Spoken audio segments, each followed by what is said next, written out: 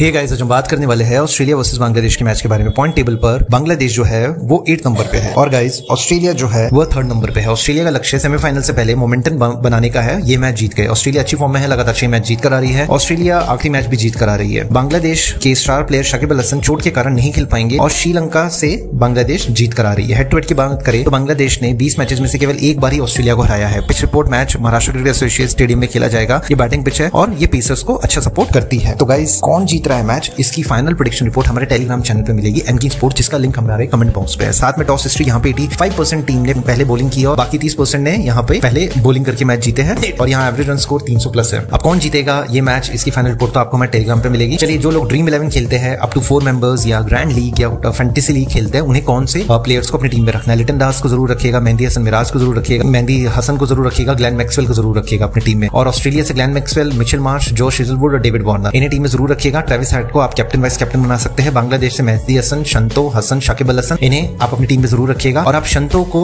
या तस्किन अहमद को आप कैप्टन वाइस कैप्टन बना सकते हैं। साथ में ड्रीम इलेवन पे या अप टू फोर मेंबर्स या ग्रैंड लीग में ये टीम ज़रूर लगाइएगा। और टॉस के बाद फाइनल टीम आपको हमारे टेलीग्राम चैनल पर मिलेगी। थैंक यू गाइस हमारे चैनल को लाइक एंड सब्सक्राइब करने के लिए हमारे चैनल को लाइक एंड सब्सक्राइब कीजिए। और स्पोर्ट्स दुनिया के हर एक छोटे बड़े अपडेट के लिए हमारे चैनल के साथ जुड़ जाइए। Thank you guys